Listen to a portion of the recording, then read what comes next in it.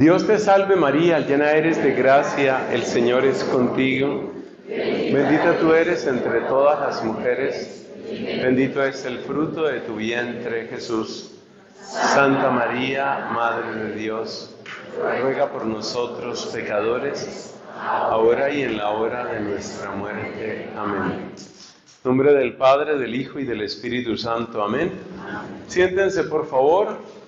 Hermanos, cuando una familia empieza a salir de sus crisis, a superar sus situaciones difíciles, cuando se dan estos procesos de sanación, de liberación, procesos de reconciliación, hay un fruto muy hermoso y es que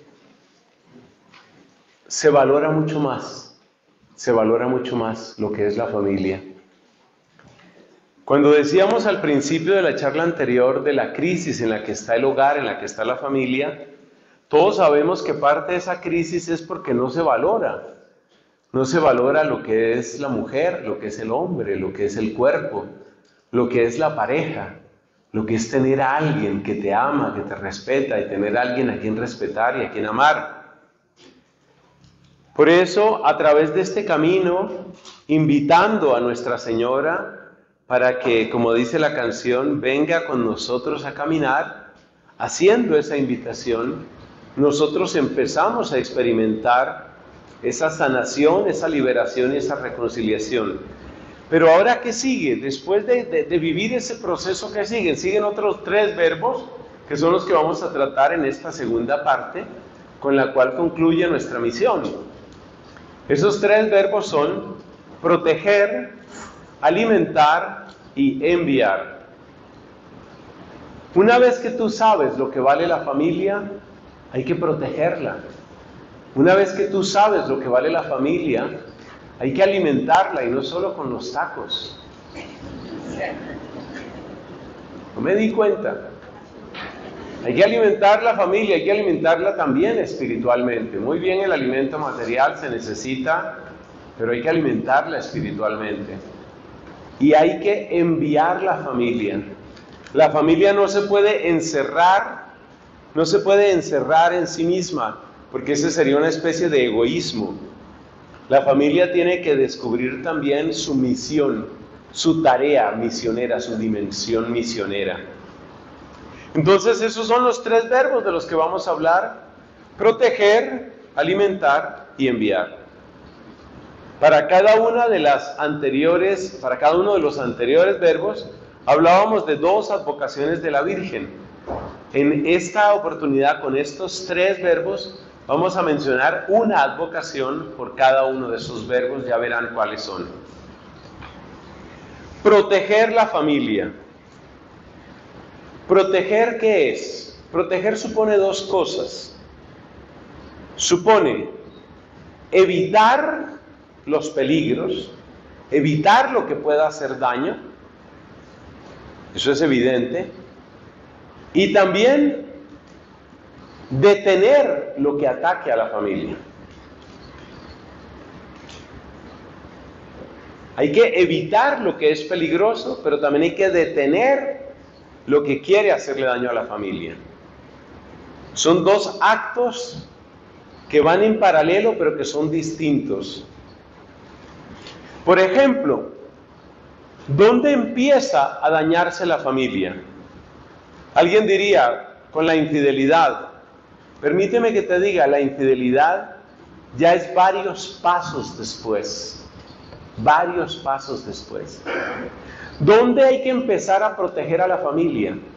Este dato es importante y, eso, y por eso me alegra que haya nueve personas tomando apuntes. Hemos aumentado, la vez pasada eran cuatro, ya son nueve personas.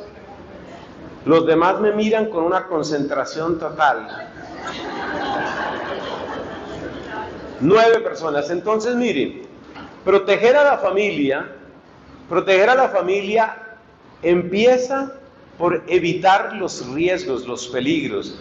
O sea, ¿cuáles son las primeras señales de alarma? Eso es lo que estamos hablando aquí.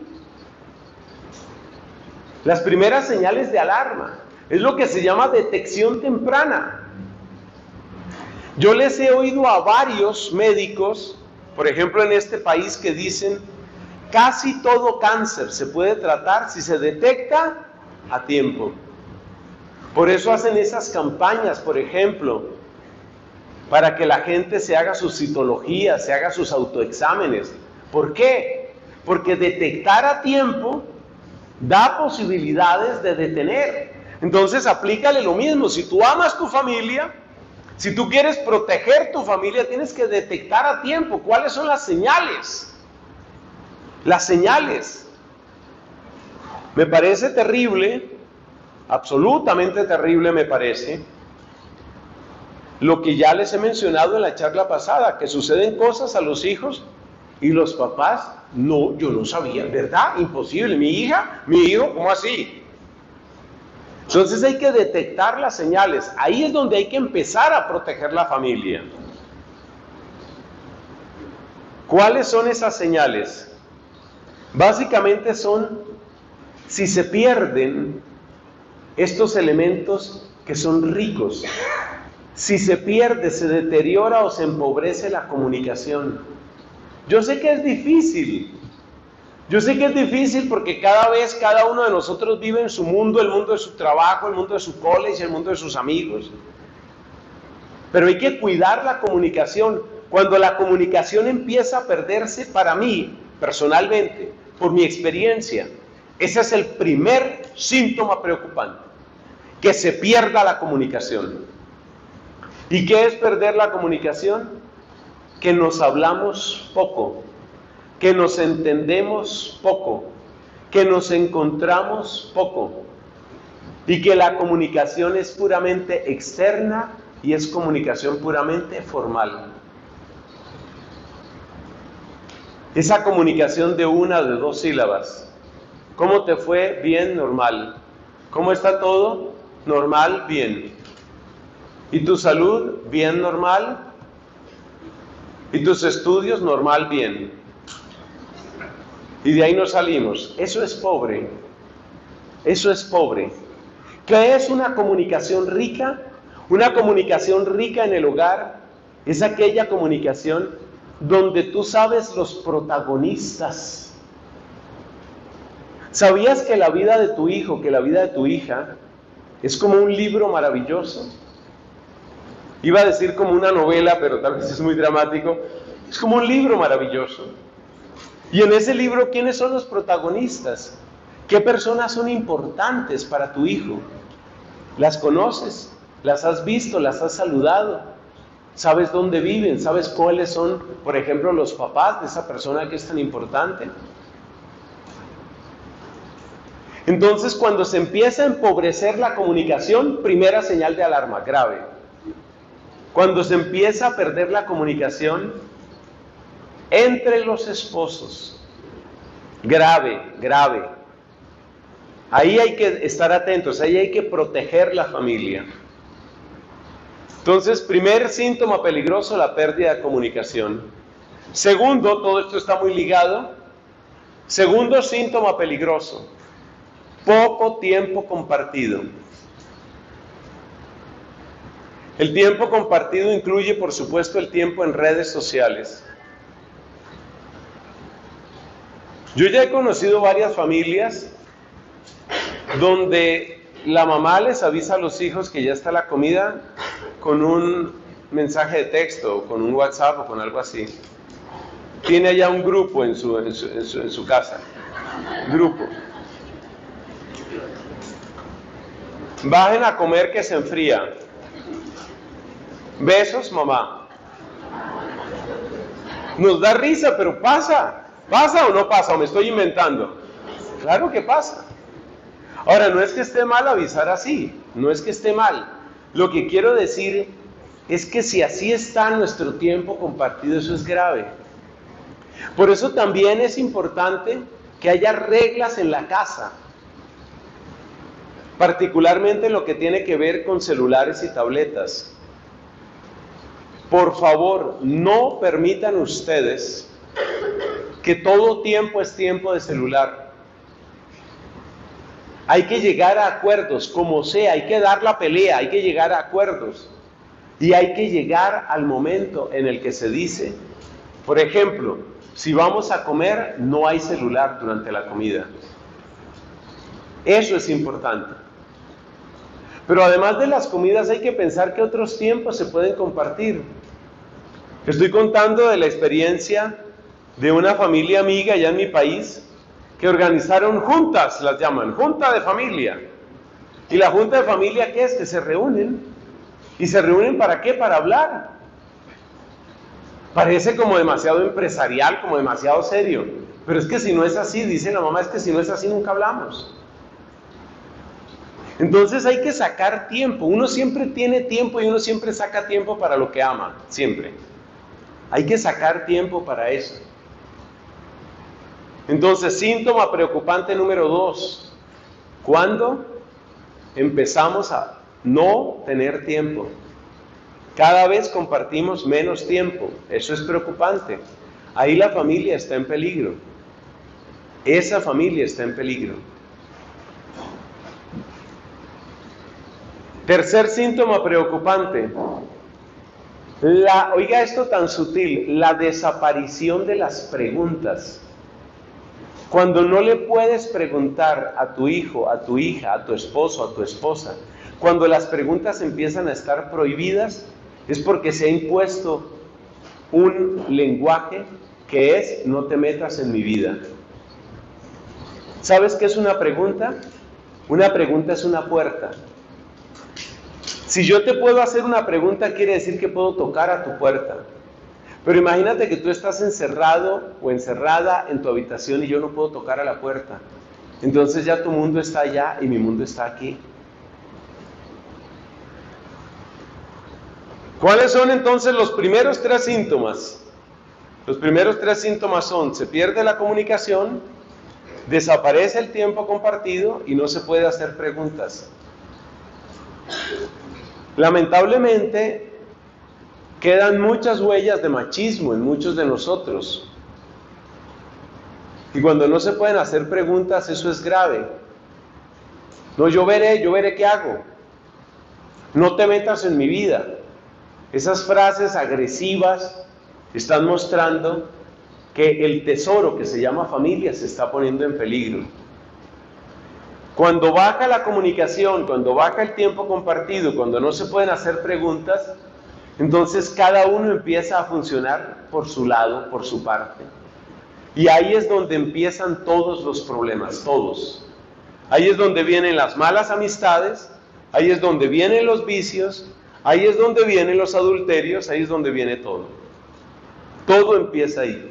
Por eso las tres cosas que hay que cuidar son el derecho a preguntar, el derecho a compartir tiempo y el derecho a comunicarnos. Piense de nuevo el tema de las preguntas y verá lo importante que es. Es muy importante eso, porque es de lo primero que se pierde cuando hay crisis. ¿Qué hacemos para proteger a nuestras familias? Lo primero es darse cuenta de lo que está sucediendo. Y lo segundo, ya dijimos, no es actuar hacia afuera, sino actuar hacia adentro. Y la mejor manera de actuar hacia adentro para proteger la familia es empezar por pedirle a Dios el regalo de ser nosotros mismos instrumentos, instrumentos para facilitar, para proteger, para defender la familia para que cuando llegue el ataque, porque el ataque vendrá, el ataque vendrá. Pero si cuando llegue el ataque, ese hijo tuyo tiene a quién comunicarle, tiene con quién hablar, el ataque seguramente se puede superar. El ataque se puede superar. En mi país tenemos casos de niños a los que ya les ofrecen droga. Tenemos ya ese caso en Colombia. Entonces me, contaban, pues, en una, situación de familia, es una familia con tres hijos, y entonces al hijo, el del medio, le resultaron ofreciendo droga, en una escuela pública le resultaron ofreciendo droga. Pero gracias a Dios, el muchacho comentó, habló, ¿ve? La, comunicación salva, la comunicación salva. Bueno, ¿y a quién apelamos? ¿Cómo nos ayuda María Santísima? Yo creo que una advocación preciosa, que por algo tiene el nombre que tiene, es Nuestra Señora de la Medalla Milagrosa. Piense usted que esa, ese pequeño objeto, que es el sacramental más ofrecido en toda la Iglesia Católica, no sé si ustedes sabían ese dato, el sacramental más difundido en toda la Iglesia es la medalla milagrosa. Quien no conozca de la medalla milagrosa le queda esa tarea, conozca, es una vocación muy linda, muy hermosa. Y esa medalla nos quiere inspirar, nos quiere recordar la protección de María. Me parece, es que yo no sé si estas gafas me sirven, me parece que esa es la que está allá atrás, ¿no es? ¿O es Lourdes? ¿Cuál es la que está allá atrás? Esa es la milagrosa, ¿cierto? Que le salen como unos rayos de las manos. Y le dijo la Santísima Virgen a Santa Catalina Lauré, que fue la novicia que tuvo estas apariciones, le, le mostró esos rayos que salían de las manos. ¿Y sabes por qué se los mostró? Para decirle nadie los aprovecha. Nadie los aprovecha. Entonces es conveniente que tú pidas milagros para tu familia. Es conveniente que tú pidas protección para tu familia. Y para eso es muy bello y es muy importante que tú te acerques a María Santísima. Entonces ese era el primer verbo, proteger. ¿Qué nos queda ese primer verbo? Estar atentos a esas tres cosas. Cuando se daña la comunicación, estamos todavía en el verbo proteger, después vamos para alimentar. Entonces, en proteger hay que verificar esas tres cositas. ¿Cómo está la comunicación? ¿Cómo está el tiempo que compartimos?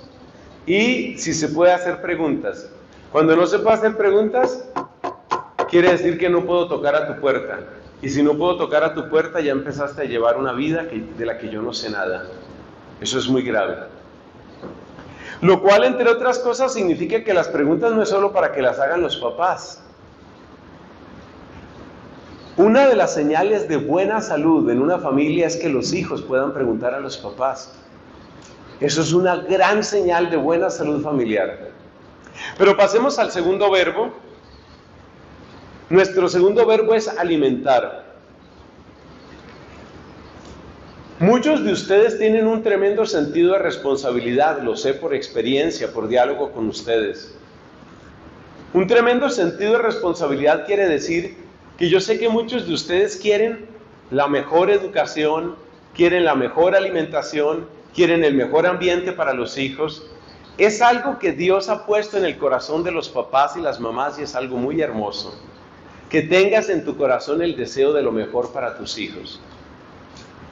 Pero yo quiero referirme aquí, por supuesto, del alimento espiritual. ¿Y el alimento espiritual cuál es? El alimento espiritual es el que proviene por esa puerta maravillosa de la fe. ¿Saben que hay muchos hogares católicos donde nunca se hace una oración juntos? Hogares católicos, no se hace ninguna oración. Hogares donde no se hace bendición de los alimentos. Hogares donde nunca se reza un rosario juntos. Eso, eso no puede traer nada bueno. Es decir, si Cristo no es el invitado número uno de nuestros hogares a través de la oración, si María Santísima no acompaña la alegría de la familia como acompañó las bodas de Caná, tenemos que preguntarnos ¿En qué estamos? Tenemos que preguntarnos en qué estamos. Entonces, ¿qué es alimentar? Y esto requiere una profunda conversión, una profunda conversión del corazón. Porque según la Biblia, ¿sabes quién es el primero que tiene que educar en la fe? El papá. El papá. Hay un salmo muy bello que dice, y es el papá el que está hablando, Venid, hijos, escuchadme, os instruiré en el temor del Señor. ¿Hay alguien que ame la vida y desee días de prosperidad? Guarda tu lengua del mal, tus labios de la falsedad, y siguen los consejos. El papá. El papá tiene que ser el primer catequista, el primer catequista. A veces yo hablo con los directores, directoras de catequesis, no solo en esta parroquia, no solo en este lugar, en muchos otros sitios profesores de religión. Nosotros los dominicos tenemos varios colegios en mi país y en otros sitios. Y una cosa que me preocupa mucho es que llega, por ejemplo, el tiempo de la primera comunión y por supuesto hay que dar catequesis a los niños. Hay niños que no se saben el Padre Nuestro. Les estoy diciendo la verdad, no se lo saben. Entonces, si llega el momento de la primera comunión, es un niño que tiene 8 años, 9 años, no se sabe el Padre Nuestro. Dime qué está pasando en esa casa. Dime cuál es el alimento que se recibe en esa casa. ¿Cuál es el alimento? Dime quién está alimentando la mente de ese niño. Dime quién está alimentando el corazón de ese niño.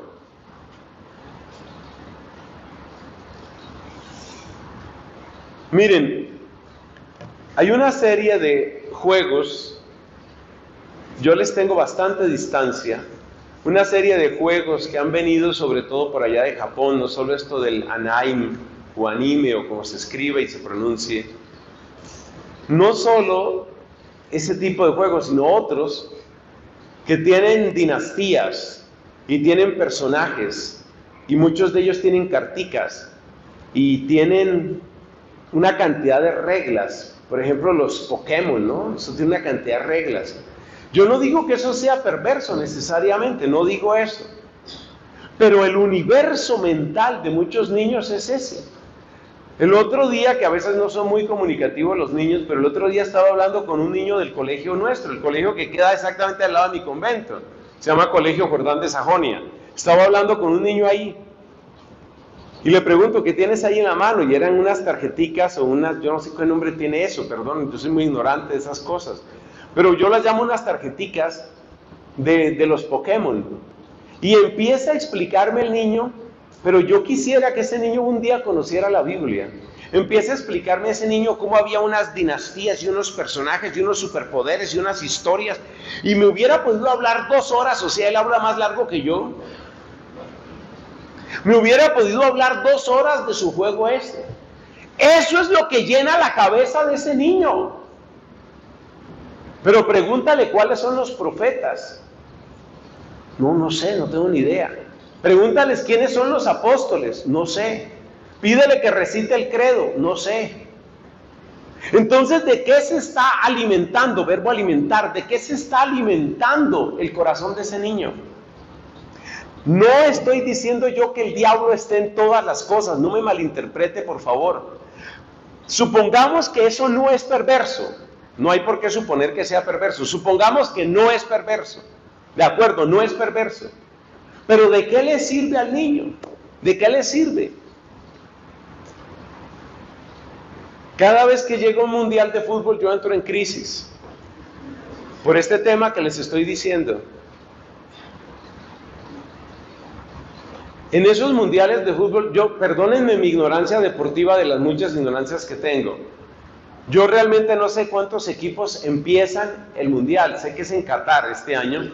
Y sé que no lo hicieron a mitad de año por el excesivo calor, sino que va a ser como en noviembre ahorita. Entiendo yo, si estoy bien hasta ahí. Ahora hacen cara de que mundial. ¿Qué mundial? ¿De qué habla ese padre? Sean sinceros, caramba. Bueno, entonces, oiga, ¿dónde está mi crisis? Mi crisis está en que los niños se saben, vamos a suponer que son 32, es un número así, múltiplo de 4 en todo caso.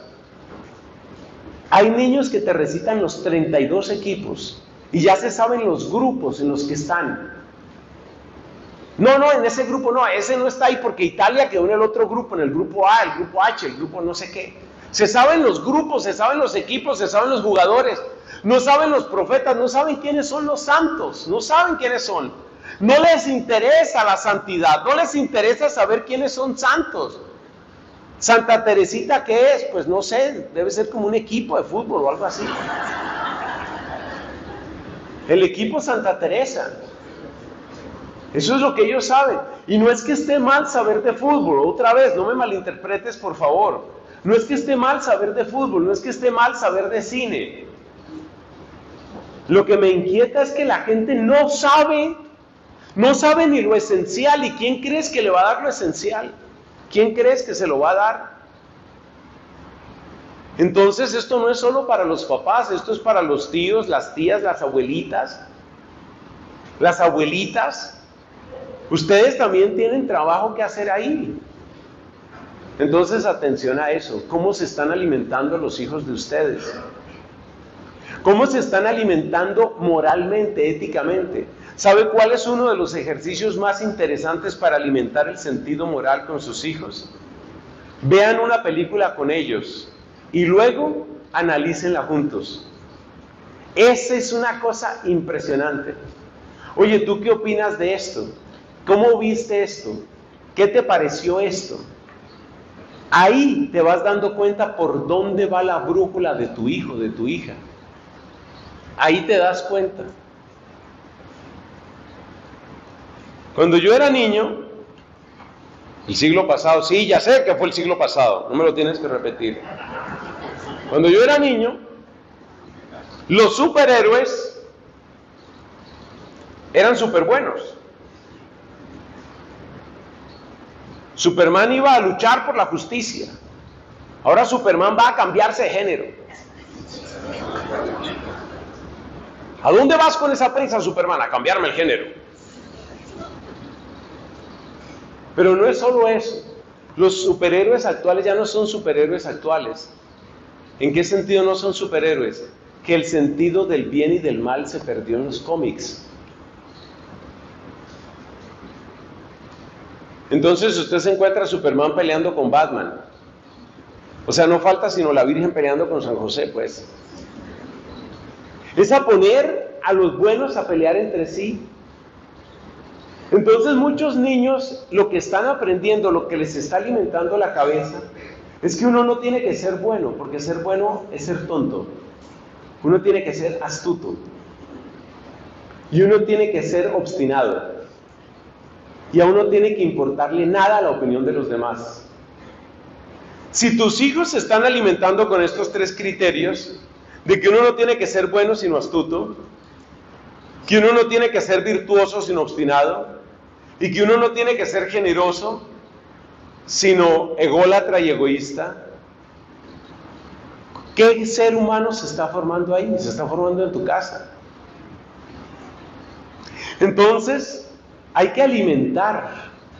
Ese tesoro que es tu casa hay que alimentarlo. Y no hay manera de alimentar si no es en la interacción directa. Que se pueden apoyar en una película, en un libro, bien. Hay películas buenas que están saliendo. Hace poco salió una película buena de la vida de San Pablo. Hay películas buenas de vidas de santos, hay muchas buenas. Esas películas se consiguen más en internet que los servicios de streaming. Es muy difícil encontrar una cosa buena en streaming hoy. Es mi concepto, muy difícil. Sí se encuentran, claro. O sea, bueno en el sentido que ayude a formar en valores, valores morales, muy difícil. Hay películas que se están sacando sobre la Eucaristía. Yo no sé qué tanto llega eso por aquí, pero en mi país están llegando. Una película sobre la Eucaristía, increíble. Una película sobre los monjes. Hay una película que se llama El Gran Silencio sobre la vida de los monjes. La que se llama El Beso de Dios es sobre la Eucaristía. Hay películas buenas que van llegando. Eso también es interesante. ¿Cómo se están alimentando tus hijos espiritualmente? Esa es la pregunta. Porque es que si no alimentamos, solo regañar no sirve. Solo regañar no sirve. Hay una comparación que le escuché una vez a un motivador de esta gente que dan así conferencias y todo esto. Y él decía, cuando usted solamente regaña a su hijo, yo le voy a decir lo que pasa en la mente de ese hijo. Imagínese que usted llega a un trabajo. Trabajo nuevo. Es un gran edificio. Usted entra al trabajo. Eh, y ¿a dónde tengo que ir? Y le responde la señora de la recepción, no sé, no sé, mi trabajo es este. Entonces usted empieza a caminar a ver dónde le toca ir, qué tiene que hacer. Y de repente se encuentra con un señor que lo empieza a gritar, es su jefe. ¿Hasta qué hora lo tengo que esperar, hombre? Yo, yo, no sé dónde es, mi, dónde es mi lugar, mi oficina, yo no sé dónde es mi escritorio, no sé. Problema suyo. Y se va y no le responde. Termina el día, se vuelve a encontrar con el jefe. ¿Qué pasó con las tareas que teníamos para hoy? Es que yo, no sé qué tareas teníamos. Es lo más ineficiente que ha llegado a esta empresa a usted. Si tú no muestras un camino, después no muestres un regaño. Escribe esa frase que te conviene. Si tú no muestras un camino, después no muestres un regaño. Entonces lo que decía este señor, claro que lo contaba mejor que yo, claro está, lo que él decía era que los papás que regañan sin mostrar el camino, es como si tú llegas a una empresa y nadie te dice lo que tienes que hacer y luego te empiezan a regañar por no hacerlo. Es exactamente eso. Es eso exactamente. Entonces, hay que mostrar el camino, hay que alimentar, hay que mostrar, mira, hay que hacer esto, esto es lo que sigue, esto es lo que hay que hacer, eso es lo que hay, eso es lo que corresponde. ¿Quién nos ayuda en esto de alimentar? Quien nos ayuda es la Santísima Virgen María, la gran formadora. ¿Cómo sería ella que Dios le encargó que formara a su propio hijo? Esa es verdadera mamá, es una mamá increíble, es una maestra increíble. Pero de todas las advocaciones, de todas, de todas, yo quiero llamar la atención sobre Nuestra Señora de Lourdes. Nuestra Señora de Lourdes. Es hermoso cómo ella acoge, recibe, forma y transforma vidas en ese lugar, en Lourdes, especialmente para los enfermos. Igual la hubiéramos podido mencionar esta advocación cuando hablamos de sanación. Pero ella enseña a alimentar, alimentar la fe. Ella le enseñó, ella le enseñó a Santa Bernardita Subirú, que fue la chica de las apariciones, le enseñó sobre el misterio de la Inmaculada Concepción. Yo soy la Inmaculada Concepción, le enseñó. Entonces, alimentar, hay que alimentar. Mira cuántas tareas van quedando de estas charlas, ¿no? Pero qué bien que estamos aquí, repito. Y vamos con nuestro último verbo, señoras y señores, esto va llegando al final. La cola de confesión también va llegando al final, pero todavía hay chance, yo creo, de una o dos personas. Este puede ser el toque de la gracia.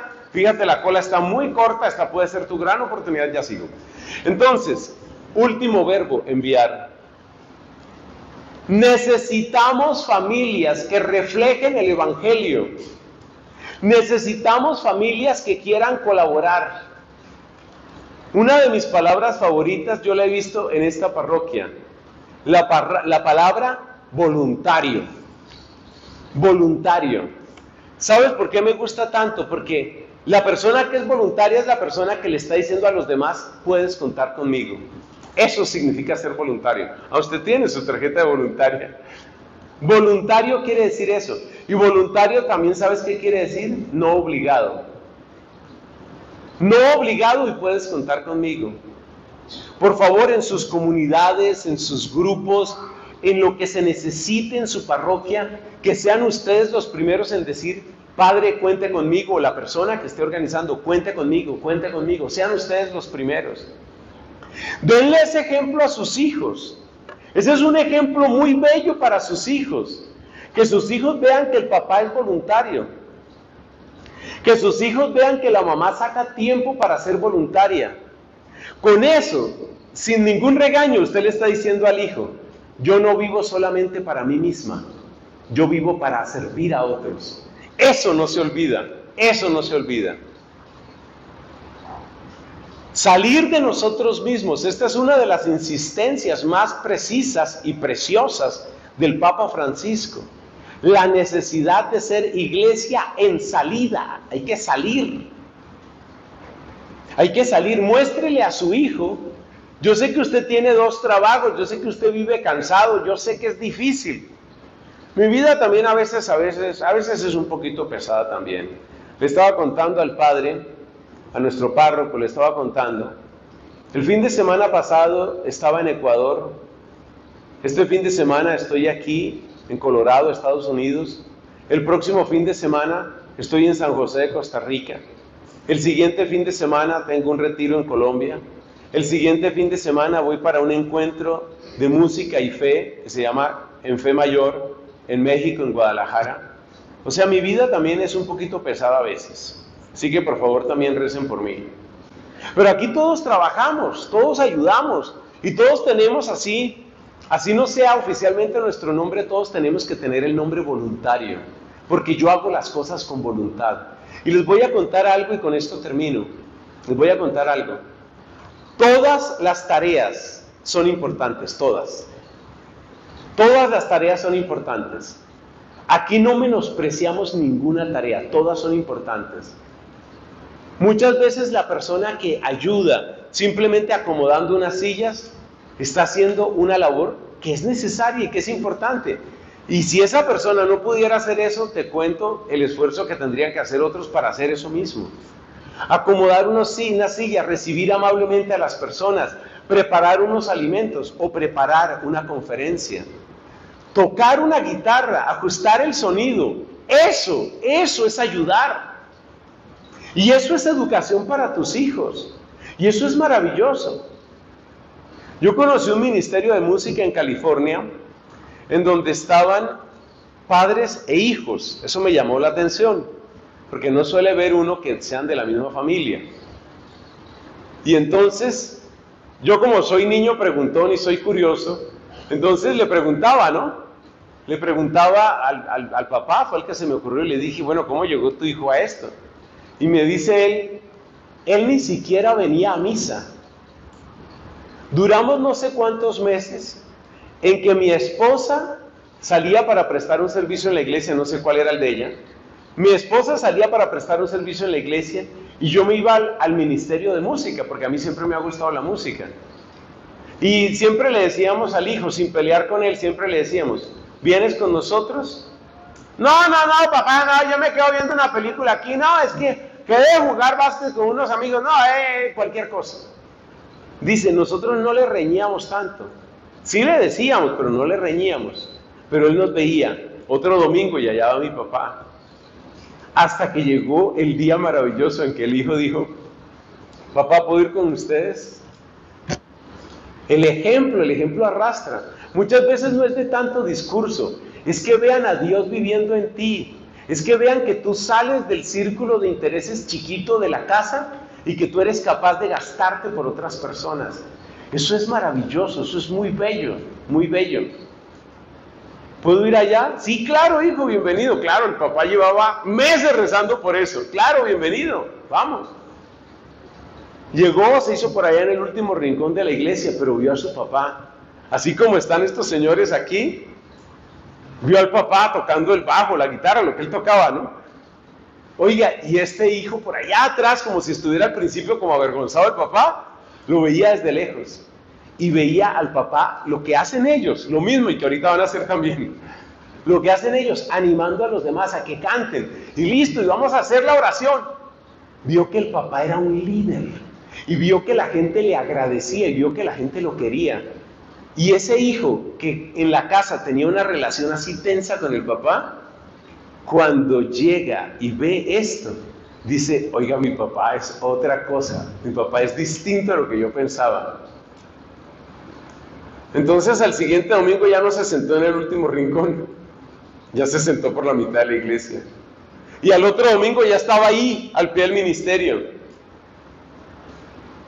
Y al siguiente domingo le dijo, papá, ¿puedo aprender a tocar guitarra? Un muchacho, no le estoy diciendo un niño, un muchacho, yo no sé, 18, 20 años, lo que sea. Entonces, es necesario que tus hijos vean que tú sales, que tú sales de ti mismo, que tú no vives solamente como esclavo de un sueldo, a ver si me gano otro sueldo, a ver si mejoro, y entonces me compro otra cosa, y a ver si me compro otro carro, a ver si me compro y me compro, porque este es el país de las compras. A ver si me compro. Pare un momento de comprar. Pare un momento de comprar. Y piense que usted también puede dar, que usted puede ser voluntario, voluntario.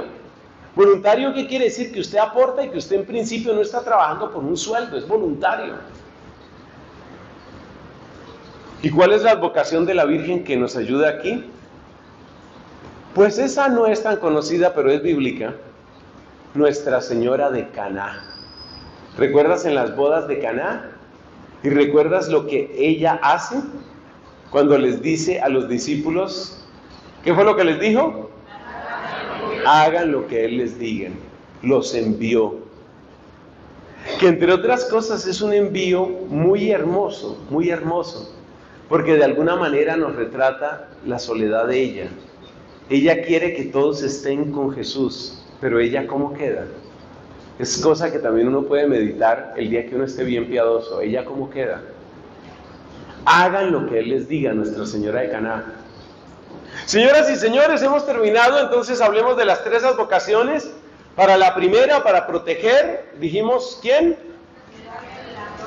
La medalla milagrosa, respondió solo una señora, me queda un poco una tristeza, un sinsabor hay un dolor en mi corazón porque los voluntarios no respondieron realmente. O sea, tantas flores para los voluntarios y no respondieron. Entonces, para proteger la medalla milagrosa, Nuestra Señora de la medalla milagrosa, para alimentar Nuestra Señora de Lourdes, que fue formadora en la fe de Bernardita Subirú, y para, ¿cuál es la otra? Enviar nuestra Señora de Caná. Pongámonos de pies para hacer una última oración. Recuerden para quienes quieran y puedan quedarse que tenemos la Santa Misa también el día de hoy. En el nombre del Padre y del Hijo y del Espíritu Santo. Amén. Te damos gracias, Señor, porque tú haces realidad en nuestras vidas lo que hemos cantado. Ven con nosotros a caminar, le decimos a María Santísima, y ella quiere acompañar nuestros hogares. Quiere ayudarnos a sanar, a liberar y a reconciliar. Ella quiere ayudarnos a proteger, alimentar y también a enviar las familias católicas para que atraigan muchos más hacia la fe. María, te agradecemos desde el fondo del corazón. Te agradecemos tu presencia, tu dulzura, tu maternidad, tu virginidad, tu pureza, tu bondad, tu humildad, tu sencillez, pero sobre todo tu caridad. Gracias, María Santísima. Por eso sellamos esta oración y este momento con esa oración en que le pedimos a María que nos muestre a Jesús. Dios te salve, Reina y Madre, Madre de misericordia, vida, dulzura y esperanza nuestra. Dios te salve, a ti clamamos los desterrados hijos de Eva. A ti suspiramos, gimiendo y llorando en este valle de lágrimas. Ea pues, Señora, abogada nuestra, vuelve a nosotros tus ojos misericordiosos y después de este destierro, muéstranos a Jesús, fruto bendito de tu vientre. Oh clemente, oh piadosa, oh dulce siempre Virgen María, ruega por nosotros, Santa Madre de Dios,